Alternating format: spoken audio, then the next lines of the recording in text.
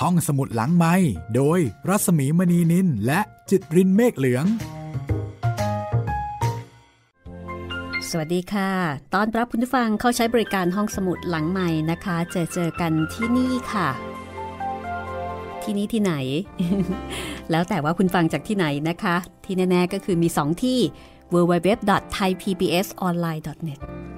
วิทยุไทย PBS ออนไลน์ วิทยุข่าวสารสาระ เพื่อสาธารณะและสังคมนะคะ หรือว่าบางท่านอาจจะฟังผ่านแอปพลิเคชันไทย PBS บนสมาร์ทโฟนค่ะ ทั้งระบบ Android แล้วก็ iOS ดาวน์โหลดมาใช้งานกันได้นะคะ ฟังสดแล้วก็ฟังย้อนหลังได้ทุกเวลาที่คุณต้องการ แต่ถ้าจะดาวน์โหลดมาที่นี่เลยค่ะ ที่เว็บไซต์ thaipbsonline.net นะคะ ห้องสมุดหลังไม้เป็นรายการเรื่องเล่าทางวิทยุ เป็นวิทยุออนไลน์ แล้วก็เป็นวิทยุสาธารณะนะคะ หยิบวรรณกรรมดีๆ มาเล่าบ้างอ่านบ้างให้คุณได้ฟัง ตอนนี้คือวรรณกรรมพุทธประวัติในทัศนะใหม่ของท่านติชนัทฮันค่ะ แปลเป็นภาษาไทยโดยคุณรสนาโตสิตรกูล และก็คุณสันติสุขโสพลสิรินะคะ คือเมฆสีขาวทางก้าวเก่าแก่ ยังอยู่ที่เล่มหนึ่งค่ะ แต่ใกล้จบเต็มที และวันนี้เป็นตอนที่ 15 ความเดิมตอนที่แล้วนะคะ พระพุทธเจ้าออกเผยแผ่สิ่งที่พระองค์ค้นพบ แล้วก็มีผู้เคารพนับถือ ปวารณาเป็นสาวก แล้วก็บวชมากขึ้นมากขึ้น นอกเหนือจากปัญจวัคคีย์ก็มี ยศกุลบุตร ซึ่งเป็นลูกเศรษฐี แล้วก็มีเพื่อนสนิทของพระยศ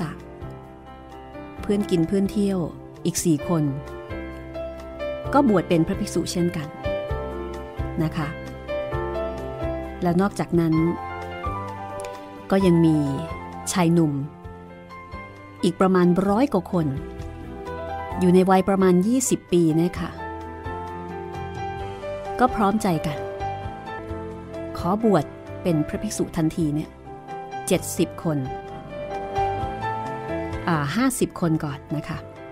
คือจริงๆ ทั้งร้อยยี่สิบอยากบวชหมดเลย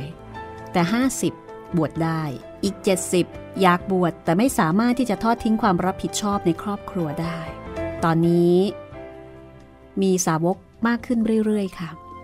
และพระพุทธองค์ ก็อนุญาตนะคะ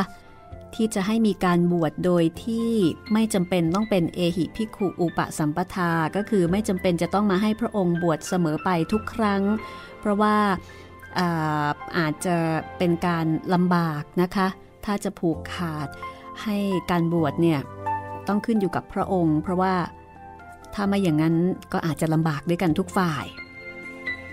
ตอนนี้ ก็มีการกำหนดรูปแบบการบวชที่เป็นรูปธรรมนะคะว่าจะต้องประกอบด้วยอะไรบ้าง เพื่อที่จะให้พระสาวกเนี่ยสามารถที่จะทำการอุปสมบทกับผู้ที่สนใจได้ แล้วก็หลังจากนั้นค่ะ หลังจากนั้น ก็มาพบกับอุลุเวละกัสปะนะคะ ซึ่งเป็นผู้ที่แตกฉานในคำพีพระเวท แล้วก็มีลูกศิษย์ลูกหามากมาย อุลุเวลากัสปะ ก็มีน้องชายอีกสองคน แต่ละคนก็จะมีสาวก เรียกว่า พอสมควรละค่ะ 300 บ้าง 200 บ้างนะคะ นาทีกัสปะ มีสาวก 300ขยากัสปะ มีสาวก 200 นะคะ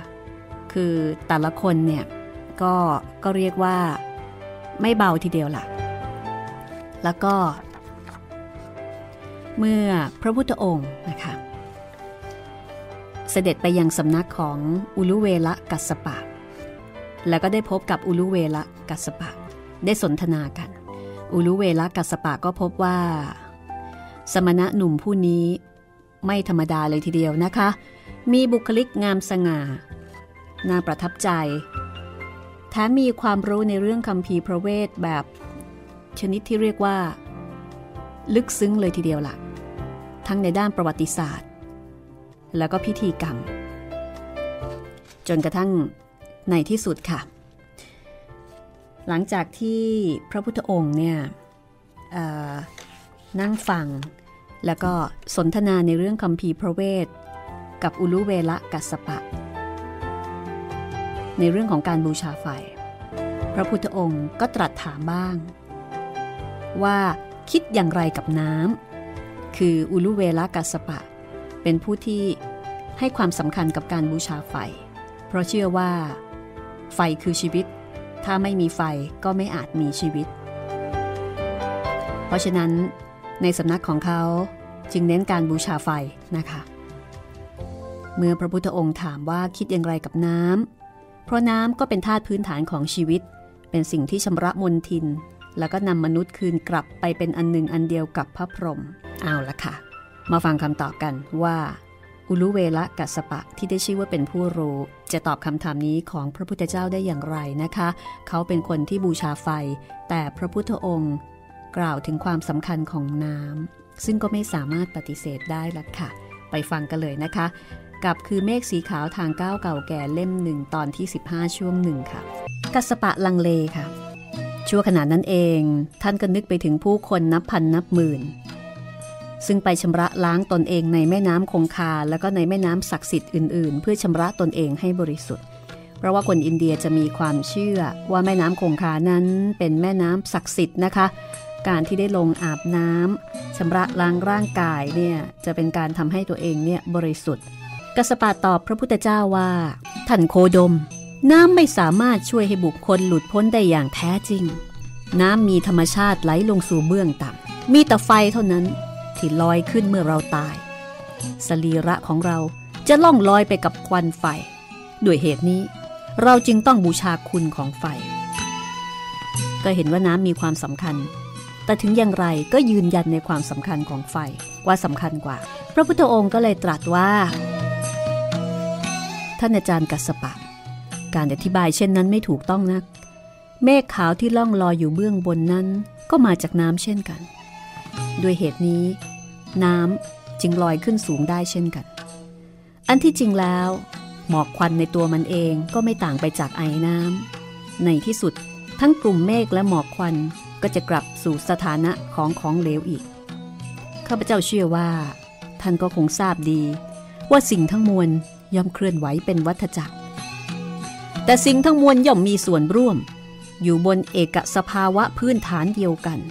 และสิ่งทั้งมวลย่อมกลับคืนสู่เอกสภาวะนั้น ท่านอาจารย์กัสปะ ทุกสิ่งย่อมต้องอิงอาศัยสิ่งอื่น ๆ เพื่อความดำรงอยู่ของมัน ยกตัวอย่าง ใบไม้ที่อยู่ในมือของข้าพเจ้านี้ ดิน น้ำ ความร้อน เมล็ดพันธุ์ ต้นไม้ กลุ่มเมฆดวงอาทิตย์ กาละอวกาศ ปัจจัยทั้งมวลเหล่านี้ ล้วนทำให้ใบไม้นี้ปรากฏมีอยู่ ถ้าเพียงหนึ่งในปัจจัยเหล่านี้ขาดหายไป ใบไม้ก็ไม่สามารถดำรงอยู่ได้ ชีวิตทั้งมวลไม่ว่าจะเป็นอินทรียภาพ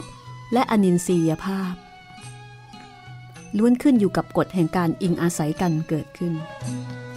แหล่งกำเนิดของสิ่งหนึ่งคือสิ่งทั้งปวง ขอได้โปรดพิจารณาความข้อนี้อย่างถี่ถ้วน ท่านไม่เห็นดอกหรือว่าใบไม้ที่อยู่ในมือของข้าพเจ้าขณะนี้ ปรากฏอยู่ที่นี่ได้ ก็ต้องขอบคุณการอิงอาศัยซึ่งกันและกัน ของปรากฏการณ์ทั้งมวลในจักรวาล รวมทั้งการรับรู้ของท่านเองด้วย นี่คือคำอธิบายที่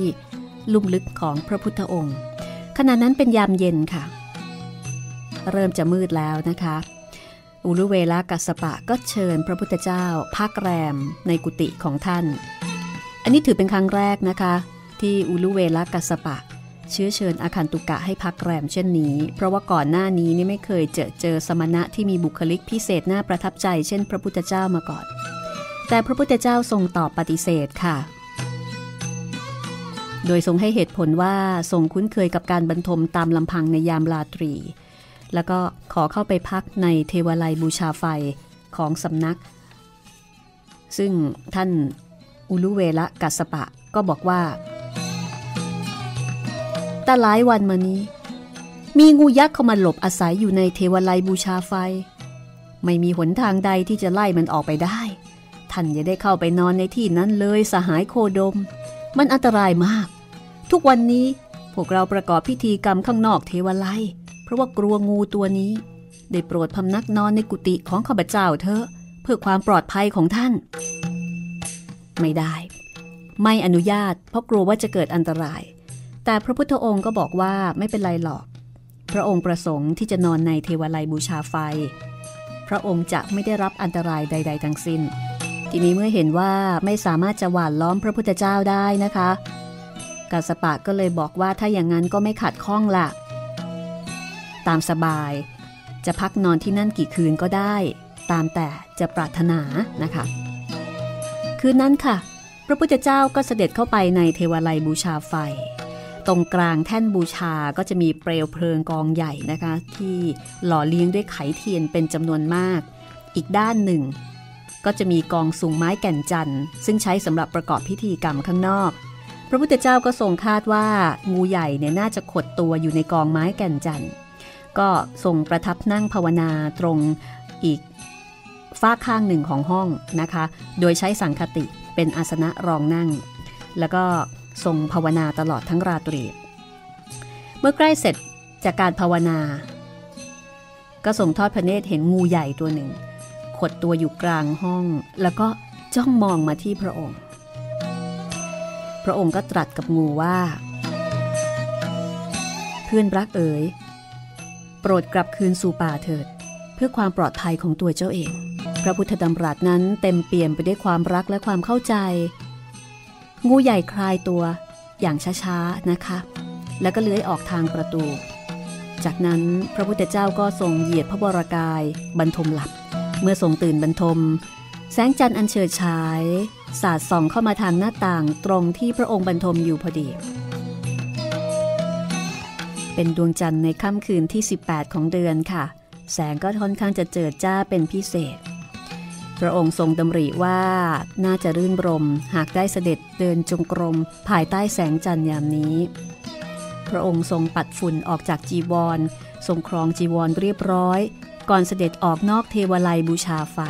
ในยามเช้าตรู่เทวไลได้เกิดเพลิงไหม้คนที่เห็นเหตุการณ์เป็นพวกแรก ตะโกนบอกคนอื่นๆ ทุกคนต่างช่วยกันลงไปตักน้ำที่ริมแม่น้ำแต่ก็ไม่ทันนะคะ ไฟลุกโหมเร็วมาก จนกระทั่งในที่สุด บรรดาสาวกหรือวัชดินทั้ง 500 คนเนี่ย ก็ทำอะไรไม่ทัน นอกจากยืนดูเทวไลมอดไหม้ลงไปกับตา อุลุเวลากัสปะ ยืนดูความเสียหาย ด้วยหัวใจที่เศร้าสลด แล้วก็นึกถึงสมณะหนุ่มผู้เปลืองปราด แล้วก็ทรงคุณธรรม มีบุคลิกพิเศษที่น่าประทับใจ สมณะหนุ่ม ยืนยัน ที่จะขอพักนอน ในเทวไลแม้ว่าจะมีงูก็ไม่หวัน่น แต่ปรากฏว่าเทวไลเนี่ยไฟไหม้อุลุเวละกัสปะ ก็นึกในใจว่า สมณะหนุ่มคงจะมอดไหม้ในกองเพลิงเป็นแน่แล้ว เพราะว่าเพลิงมันโหมเร็วมากนะคะ แล้วก็เสียใจว่านี่ถ้าสมณะหนุ่มเชื่อในคำของท่าน แล้วก็นอนในกุฏิของท่านก็คงจะรอดชีวิต แต่ในขณะที่อุลุเวละกัสปะกำลังคิดเช่นนี้ พระพุทธเจ้าก็ปรากฏพระวรากายขึ้น พระองค์ทอดพระเนตรเห็นเปลวเพลิง จากสถานที่ที่ทรงเดินจงกรมอยู่ในหุบเขา เมื่อเสด็จกลับมาเพื่อดูว่าพระองค์จะสามารถช่วยอะไรได้บ้าง คือพระองค์เสด็จไปเดินจงกรมช่วงเช้ามืดนะคะ ก็เลยรอดไปจากเหตุไฟไหม้กัสปะดีใจมากค่ะ รีบเดินตรงมายังพระพุทธเจ้า ช่วยพระหัตถ์ของพระองค์ไว้ แล้วก็ละล่ำละลักบอกว่า ขอบคุณพระเจ้า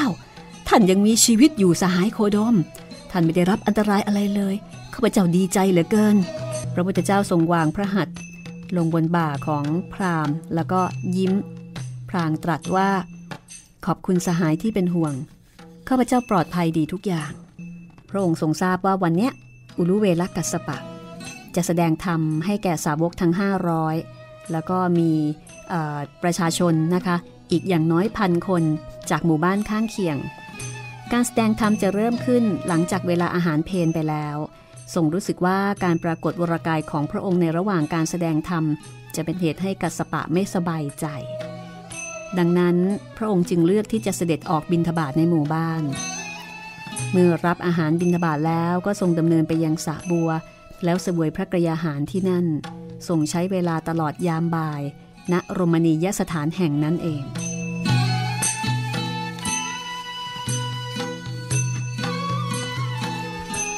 เมื่อถึงยามบ่าย อุลุเวลากัสปะก็ออกตามหาพระพุทธเจ้านะคะ เมื่อมาพบกับพระพุทธเจ้าที่ประทับอยู่ริมสระบัว ก็กล่าวบอกว่า สหายโคดม เรารอคอยท่านตั้งแต่ตอนอาหารเพนแต่ก็ไม่เห็นท่าน เหตุไฉนท่านจึงไม่ไปร่วมฉันพัตหารเพนกับพวกเราล่ะ พระพุทธองค์ก็ตรัสตอบว่าพระองค์ไม่ประสงค์ที่จะประทับอยู่ในระหว่างที่กัสปะแสดงธรรม อุลุเวลากัสปะก็ถามต่อว่าแล้วทำไมถึงไม่ต้องการฟังการบรรยายธรรม คราวนี้พระพุทธองค์ทรงยิ้มนะคะ อุลุเวลากัสปะก็ไม่ได้กล่าวอะไรอีก ท่านรู้ดีว่า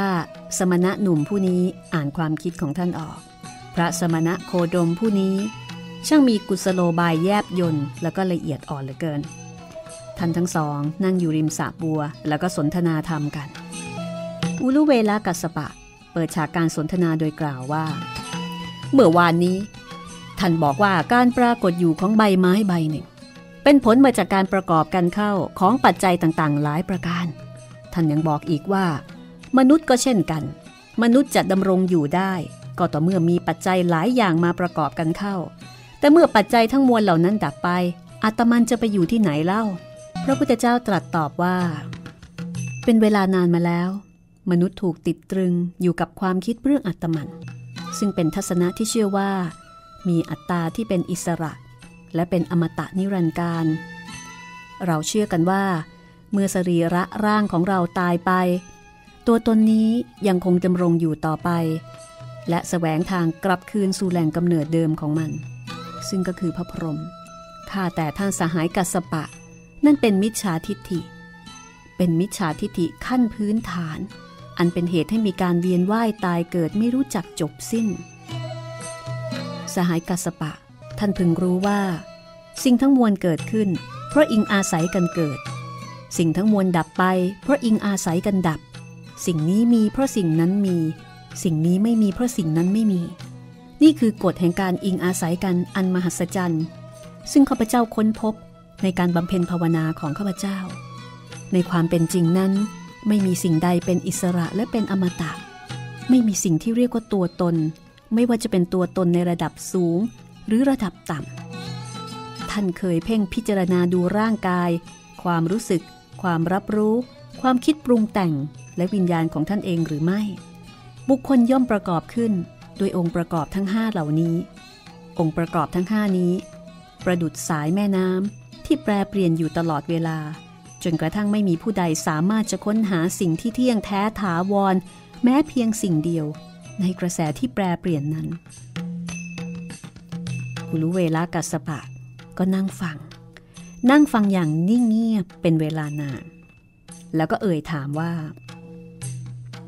จะสามารถกล่าวได้ไหมว่า ท่านสอนหลักธรรมแห่งการไม่มีตัวตน พระพุทธองค์ทรงยิ้ม พรางสายพระเศียร และตรัสว่า หาไม่ได้ สิ่งที่ท่านกล่าวเป็นมิจฉาทิฏฐิอย่างหนึ่ง ในบรรดามวลมิจฉาทิฏฐิที่มีอยู่อย่างมากมาย ความคิดที่ว่าไม่มีตัวตนเป็นมิจฉาทิฏฐิ เช่นเดียวกับความคิดที่ว่าตัวตนที่เป็นอิสระและถาวร ท่านกสปะ โปรดดูพื้นผิวของสาบัวแห่งนี้ ข้าพเจ้ามิได้บอกว่าน้ำและดอกบัวมิได้มีอยู่ ข้าพเจ้าเพียงแต่บอกว่า น้ำและดอกบัวเกิดขึ้นมาได้ เพราะอาศัยการมีอยู่ และการอิงอาศัยซึ่งกันและกันของสิ่งอื่น ๆ ทั้งมวล ซึ่งไม่มีสิ่งใดเลย ที่ดำรงอยู่อย่างอิสระและถาวร อุลุเวลากัสปะเงยหน้าขึ้น แล้วก็จ้องลึกลงในดวงพระเนตรของพระพุทธเจ้าก่อนที่จะเอ่ยถามหากไม่มีตัวตน ไม่มีอัตมันแล้วไซบุคคลจะพึงฝึกฝนปฏิบัติตามแนวทางแห่งจิตวิญญาณ เพื่อบรรลุความหลุดพ้นไปทำไมเล่า และใครเล่าจะเป็นผู้หลุดพ้น คราวนี้พระพุทธเจ้าทรงมองลึกลงไปในดวงตาของพราหมณ์สายพระเนตรของพระองค์เปล่งประกายดุดดังแสงอาทิตย์ แต่นุ่มนวลประดุดแสงจันทร์ ท่านกัสปะ โปรดจงค้นหาคำตอบภายในตัวท่านเอง จากนั้น พระพุทธองค์และอุลุเวละกัสปะ ก็เดินกลับสำนัก อุลุเวละกัสปะรบเร้าที่จะให้พระพุทธองค์พำนักอยู่ภายในกุฏิของท่านในคืนนั้น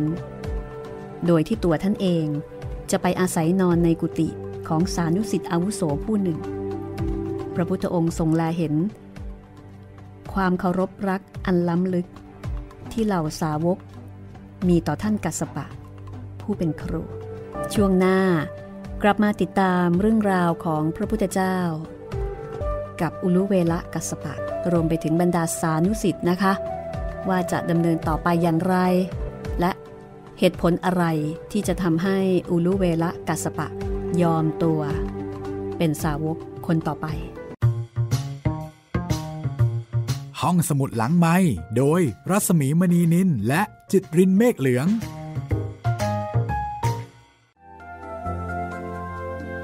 มาฟังกันต่อนะคะในช่วงที่2ค่ะ คือเมฆสีขาวทางก้าวเก่าแก่เกือบจะหมดเล่มหนึ่งแล้วนะคะ มาถึงช่วงที่2ของตอนที่ 15 นะคะท่านอาจารย์กัสปะเนี่ยท่านก็เป็นผู้หลักผู้ใหญ่นะ แล้วก็เป็นพี่ชายคนโต เป็นผู้ที่มีความรู้ในเรื่องของคำพีร์พระเวทอย่างลึกซึ้ง เป็นผู้ที่มีความลุ่มลึกนะคะ เพราะฉะนั้นกับการที่จะเปลี่ยนความคิดมายอมรับนับถือสมณะหนุ่ม ผู้ที่อายุอ่อนกว่าท่านเนี่ยไม่ใช่เรื่องง่าย แต่พระพุทธเจ้าก็จะมีบุคลิกบางอย่าง ที่ทำให้อุลุเวละกัสปะ รู้สึกประทับใจแล้วก็เคารพนับถือแม้ว่า ความคิดบางอย่างนะคะ ท่านจะยังไม่ยอมรับตามที่พระพุทธเจ้าทรงแสดงก็ตาม เอาละไปฟังกันต่อนะคะ ตอนนี้น่าสนุกค่ะ เพราะถือว่าเป็นการปะทะกันทางปัญญานะคะ ระหว่างฝ่ายหนึ่งที่อายุมากกว่า กับอีกฝ่ายหนึ่ง ที่แม้จะอายุมาก อายุน้อยกว่ามากนะคะ แต่ก็มีอะไรบางอย่าง ซึ่งฝ่ายที่อาวุโสกว่าเนี่ยไม่สามารถที่จะปฏิเสธได้ คือเมฆสีขาวทางก้าวเก่าแก่ วรรณกรรมพุทธประวัติในทัศนะใหม่ตอนที่ 15 ช่วงที่2ผลงานการประพันธ์ของท่านติชนัทฮันค่ะ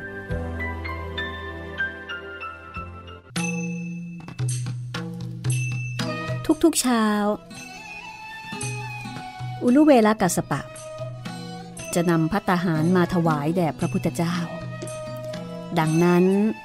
พระองค์จึงไม่จำเป็นที่จะต้องเสด็จออกบิณฑบาตในหมู่บ้านนะคะ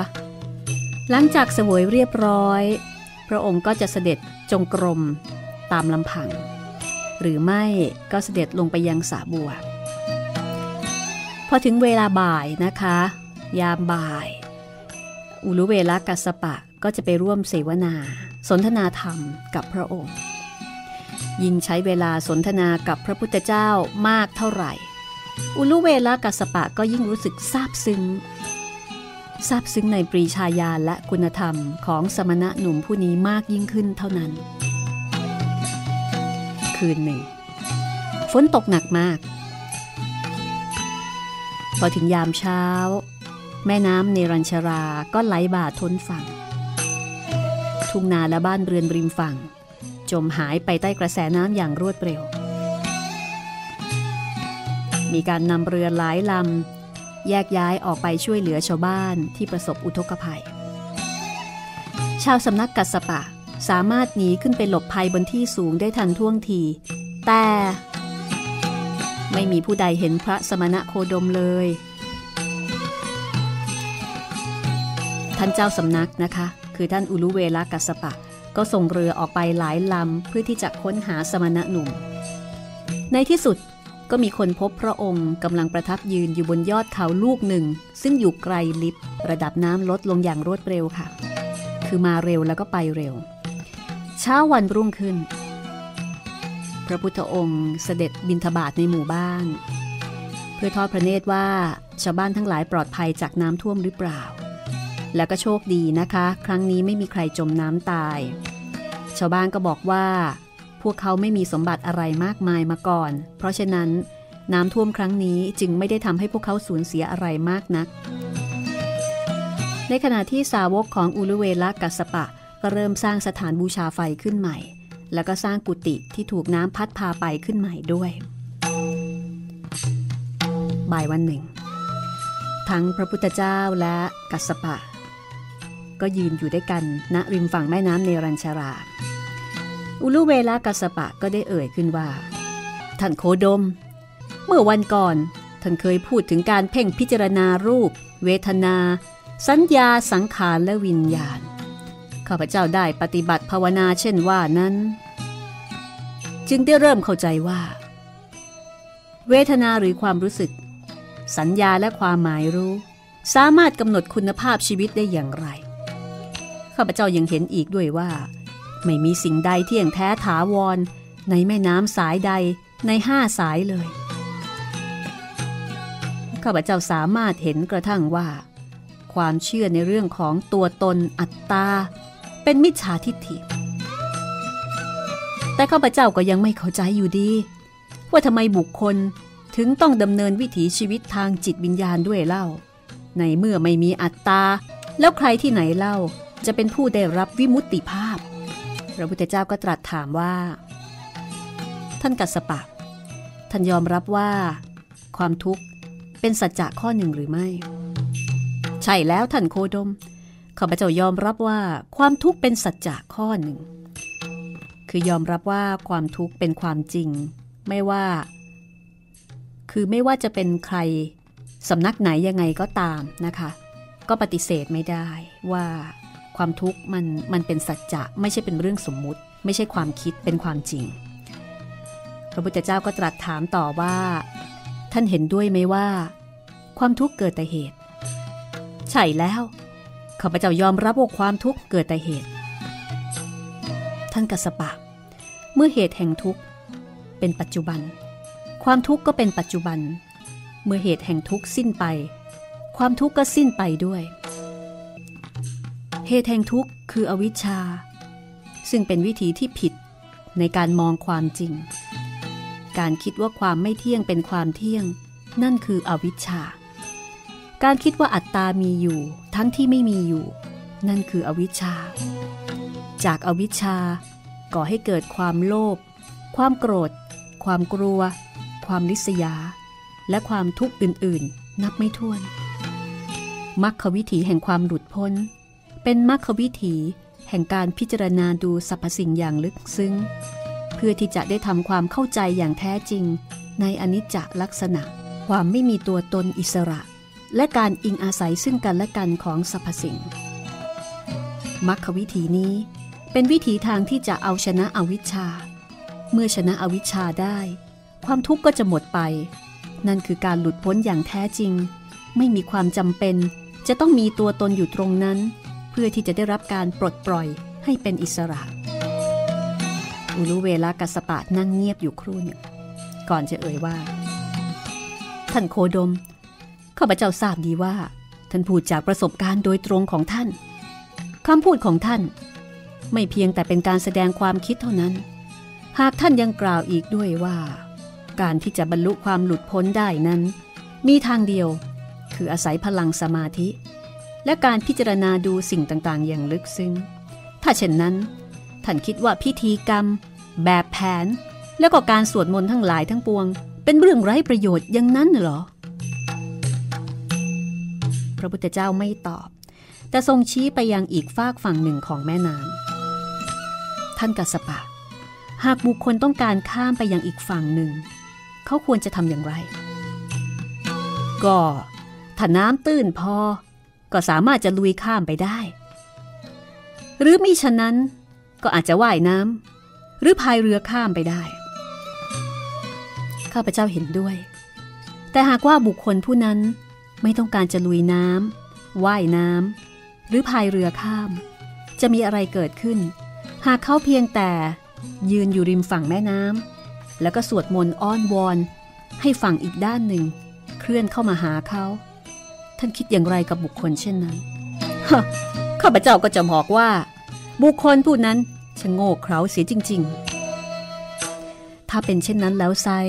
ท่านกัสปะ หากบุคคลใดไม่สามารถกำจัดความโง่เขลาและอุปสรรคทางจิตใจ บุคคลนั้นก็ไม่สามารถข้ามไปสู่อีกฝั่งหนึ่งได้ เพื่อเป็นอิสระ แม้ว่า เขาจะใช้เวลาทั้งชีวิตในการสวดมนต์อ้อนวอน ค่นั้นแหละค่ะ อุลุเวลากัสปาก็ น้ำตาไหลเลย ก้มลงแทบพระบาทของพระพุทธเจ้า ท่านสมณะโคดม ข้าพเจ้าได้เสียเวลาไปมากกว่าครึ่งชีวิตแล้ว ได้โปรดรับข้าพเจ้าไว้เป็นสาวกของท่าน และให้ข้าพเจ้าได้ศึกษา และปฏิบัติตามหนทางแห่งการหลุดพ้นกับท่านด้วยเถิด ยอมเลยนะคะ พระพุทธเจ้าทรงพยุงกัสปะให้ลุกขึ้น แล้วก็ตรัสว่าข้าพเจ้าไม่ลังเลเลย ที่จะรับท่านเป็นสาวกของข้าพเจ้า แต่สิทธิสาวกของท่านเล่าจะทำอย่างไร ใครจะเป็นผู้นำพวกเขาหากท่านจากไป เพราะพระองค์ก็สังเกตว่าบรรดาสาวกของท่านกัสปะนั้น ก็มีความเคารพและก็รักในท่านกัสปะอย่างลึกซึ้งนะคะ อุลุเวลากัสปะก็บอกว่า ขอโอกาสให้ท่านได้พูดกับบรรดาสาวกในเช้าวันนี้ แล้วก็ภายในบ่ายวันนี้อขออภัยภายในบ่ายวันพรุ่งนี้เนี่ยอุลุเวละกัสปะ ก็จะมาเรียนให้พระพุทธเจ้าทราบว่า ท่านจะตัดสินใจอย่างไรนะคะ คือจะจัดการกับลูกศิษย์อย่างไร เช้าวันรุ่งขึ้น พระพุทธเจ้าเสด็จออกพิกขาจารในหมู่บ้านอุลุเวลา จากนั้นก็เสด็จประทับนั่งณริมสระบัว ยามบ่ายกัสปะก็ได้มาเฝ้านะคะ แล้วก็กราบทูลว่า ลูกศิษย์ทั้ง 500 ตกลงใจที่จะเป็นสาวกภายใต้การนำของพระพุทธเจ้าด้วย คือในเมื่ออาจารย์ยังยอมเป็นสาวกเลยนะคะ แล้วลูกศิษย์จะไปเหลืออะไร เพราะฉะนั้นในเมื่อลูกศิษย์เคารพศรัทธาอาจารย์ เมื่ออาจารย์เห็นว่าคำสอนของบุคคลผู้นี้เป็นสิ่งที่ประเสริฐ ลูกศิษย์ก็ยอมค่ะ ไปไหนไปกันนะคะ อีกวันหนึ่งค่ะ อุลุเวละกัสปะพร้อมด้วยบรรดาผู้ติดตามทั้งหมด ก็ได้พากันปรงผมและหนวดคราว ทิ้งปล่อยผมของพวกตน ไปขับแม่น้ำเนรัญชรา เหมือนกับการละทิ้งชีวิตเดิม เริ่มชีวิตใหม่ ภายใต้การนำของพระพุทธเจ้า ทั้งหมด ที่เคย มุ่งมั่น และให้ความสำคัญกับการประกอบพิธีบูชาไฟ ได้เริ่มต้นชีวิตใหม่ น้อมเสียงอภิวาทต่อพระพุทธเจ้า พร้อมกับเปล่งวาจาขึ้นสามครั้งว่า ข้าพเจ้าขอพึ่งพระพุทธเจ้า ผู้แสดงหนทางแห่งการดับทุกข์แก่ข้าพเจ้าในชาตินี้ ข้าพเจ้าขอพึ่งพระธรรม อันเป็นมรรควิถีแห่งความเข้าใจและความรัก ข้าพเจ้าขอพึ่งพระสงฆ์ซึ่งเป็นหมู่ชนผู้ดำรงชีวิตอยู่ในความกลมกลืนและความรู้แจ้ง คำเปล่งวาจาว่าขอพระรัตนตรัยเป็นที่พึ่ง ก้องกังวานไปทั่วทั้งราวป่า เมื่อพิธีอุปสมบทเสร็จสมบูรณ์ พระพุทธองค์ทรงแสดงธรรมแก่ผู้บวชใหม่ เรื่องอริยสัจสี่และการเฝ้าดูลมหายใจ ร่างกายและจิตใจของตนทรงแสดงให้ท่านเหล่านั้น รู้จักการพิกขาจารและการฉันอาหารอย่างสงบสำรวม และทรงขอให้ปล่อยบรรดาสัตว์ ที่บรรดา ลูกศิษย์ลูกหาของท่านกัสปะเนี่ยเคยเลี้ยงเอาไว้เป็นอาหารและบูชายัน บ่ายวันนั้น พระพุทธองค์ทรงพบกับพระกัสปะ และสานุสิทธิ์อาวุโสของพระกัสปะจำนวนสิบคนนะคะ เพื่อทรงสอนให้ท่านเหล่านั้น รู้จักพื้นฐานของมรรควิถีแห่งการตื่น แล้วก็ส่งสนทนาแลกเปลี่ยนเกี่ยวกับการบริหารหมู่สงฆ์ให้ดีที่สุด เพราะว่าพระกัสปะ หรือว่าอดีตอุลุเวละกัสปะนั้น เป็นผู้นำแล้วก็เป็นนักจัดการที่ค่อนข้างจะมีประสบการณ์ คือเป็นนักจัดการที่ชาญฉลาดทีเดียว มีประสบการณ์ในเรื่องนี้มากนะคะ ท่านได้ร่วมกับพระพุทธเจ้า มอบหมายให้สานุสิทธิ์ผู้มีความสามารถทำการฝึกหัด อบรมภิกษุผู้อ่อนเยาว์กว่า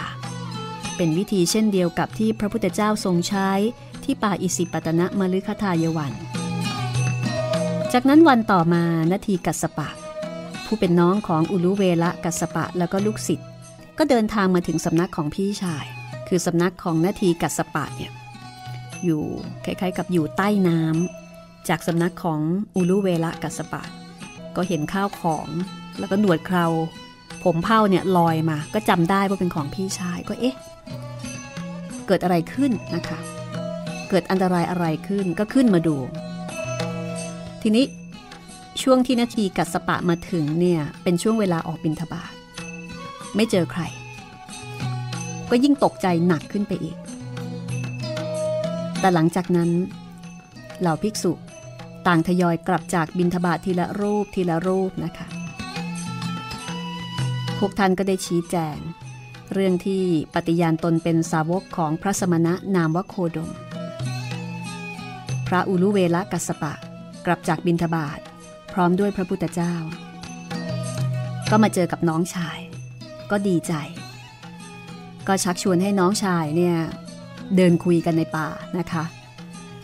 พี่น้องก็เดินด้วยกัน เป็นเวลานานพอสมควร เดินไปคุยไป พอกลับมายังสำนัก นาทีกัสปะก็ประกาศบอกว่าท่านพร้อมอสานุสิทธิ์ทั้ง 300เนี่ยขอพระพุทธเจ้าเป็นที่พึ่งด้วยเช่นกัน ก็คือพูดง่าย ๆว่า เห็นด้วยนะคะ กับพี่ชายในการที่จะเปลี่ยนชีวิตใหม่จากการบูชาไฟ มาเป็นการบวชเป็นภิกษุ แล้วก็ปฏิบัติตามคำสอนของพระสมณะโคดม ที่ต่างเห็นพ้องต้องกันว่าเป็นคำสอนที่ประเสริฐ ล้ำลึกแล้วก็น่าจะนำไปสู่การหลุดพ้นได้อย่างแท้จริง จากนั้นสองคนพี่น้องก็ตกลงค่ะ ไปชวนน้องชายคนสุดท้องก็คือขยากัสปะ ภายในช่วงเวลา 7 วัน ลูกศิษย์ของขยากัสปะซึ่งมีประมาณ 200 ก็ได้บวชเป็นพระภิกษุด้วยเช่นกัน กัสปะสามพี่น้องหรือว่าชดินสามพี่น้องเนี่ยมีชื่อเสียงในเรื่องของความรักพี่รักน้อง แล้วก็ความสามัคคีทางความคิดนะคะ พวกท่านทั้งหลายเหล่านั้นก็ได้กลายเป็นสาวกผู้ปฏิบัติตามคำสอนของพระพุทธเจ้าอย่างลึกซึ้งแล้วก็จริงจัง วันหนึ่ง หลังจากที่พระภิกษุ กลับจากบินทบาทแล้ว พระพุทธองค์ก็ตรัสเรียกประชุมสงฆ์ณเชิงเขาในตำบลขยา พระภิกษุซึ่งตอนนี้นะคะ มีอยู่ทั้งหมดเนี่ย900 รูป ฉันพัฒหารอย่างเงียบสงบ พร้อมกับพระพุทธเจ้าและพี่น้องกัสปะทั้งสามเมื่อพระภิกษุทั้งหลายเสร็จจากพัตกิจแล้วก็ได้หันหน้าไปทางพระบรมศาสดา พระพุทธองค์ทรงเริ่มเทศนาว่า ภิกษุทั้งหลายทำทั้งปวงล้วนอยู่ในกองไฟทำใดเล่าที่อยู่ในกองไฟ อวัยวะรับรู้ทั้งหกได้แก่รูป เสียง กลิ่นรส ผัสสะและธรรมารมล้วนอยู่ในกองไฟ ความรับรู้ทั้งหกได้แก่การเห็น ได้ยิน ได้กลิ่น รับรส รู้สึกและความคิด ล้วนอยู่ในกองไฟทำเหล่านั้นกำลังถูกเผาไหม้จากเปลวไฟแห่งความโลภ ความโกรธ ความหลงธรรมเหล่านั้นกำลังถูกเผาไหม้จากเปลวไฟแห่งการเกิด แก่ เจ็บ และตาย ทั้งยังถูกเผาไหม้ จากเปลวไฟแห่งความปวดร้าว วิตกกังวล ขัดเคือง กลัวและสิ้นหวัง ภิกษุทั้งหลาย ทุกความรู้สึกอยู่ในเปลวไฟ ไม่ว่าความรู้สึกนั้นจะไม่น่ายินดีก็ตาม น่ายินดีก็ตาม หรือเป็นกลางๆก็ตาม ภิกษุทั้งหลาย อย่าปล่อยให้ตัวท่านเองถูกเผาพรานจากเปลวไฟแห่งความโลภโกรธและหลง จงพิจารณา ดูอนิจจลักษณะ และการอิงอาศัยซึ่งกันและกันของธรรมทั้งปวง เพื่อจะไม่ตกอยู่ในพันธนาการของวัตตะแห่งการเกิดและตาย ซึ่งสร้างขึ้นจากอวัยวะรับรู้ วัตถุแห่งการรับรู้ และการรับรู้ ภิกษุทั้ง 900 รูป สดับฟังพระธรรมอย่างตั้งใจ แล้วก็มีการเปลี่ยนแปลงภายในอย่างลึกซึ้ง บังเกิดปีติสุขที่ได้รู้ว่าตนเองได้พบกับมรรควิธี ที่พระพุทธองค์สอนให้รู้จักมองสรรพสิ่งอย่างลึกซึ้ง พระพุทธองค์ประทับณขยาศีษะเป็นเวลาสามเดือน เพื่อทรงอบรมสั่งสอนภิกษุผู้บวชใหม่ และพระกัสปะสามพี่น้องก็ได้กลายเป็นพระอาจารย์ผู้ช่วยพระพุทธองค์อย่างยอดเยี่ยม ในการแนะนำสั่งสอนหมู่สงฆ์ติดตาม วรรณกรรมพุทธประวัติในทัศนะใหม่ ตอนต่อไปตอนที่ 16 ในครั้งต่อไปนะคะ ของห้องสมุดหลังใหม่ วันนี้ลาคุณผู้ฟังไปก่อน สวัสดีค่ะ ห้องสมุดหลังใหม่ โดยรัศมีมณีนินและจิตรินเมฆเหลือง